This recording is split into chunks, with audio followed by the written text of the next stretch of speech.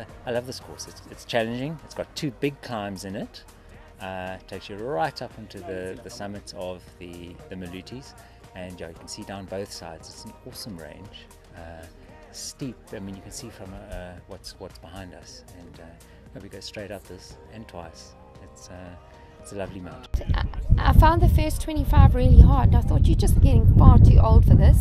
Had to talk to myself quite harshly at, at one point. Um, so I battled the, the first 25 to 30 k's.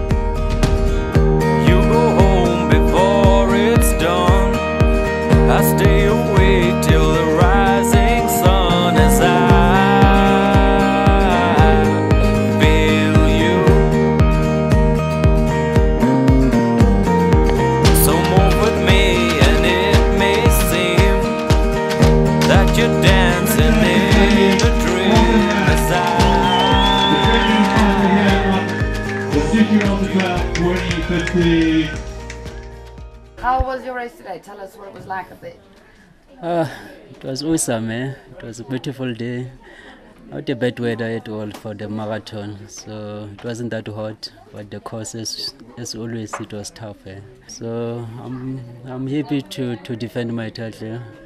and to break some minutes so, and and do the course record again. So it was very very special. And we have another hours, 59 minutes, 20 seconds. Two Charlotte takes second place at the 2015 Refugee on the Trail. Six hours, 36 minutes. Tracy Sanko.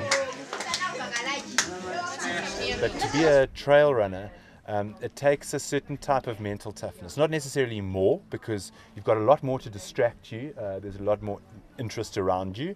Um, you don't have the support. You don't have people standing on the side of the road clapping you. So you've got to find a lot of your, your energy from, from within or from those runners around you.